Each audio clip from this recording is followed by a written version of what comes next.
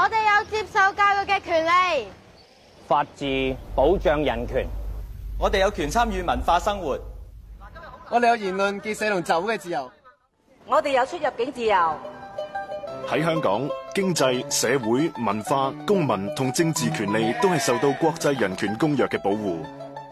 呢啲基本权利同我哋日常生活息息相关，要认识人权，去国民政事务处拎本小册子睇下啦。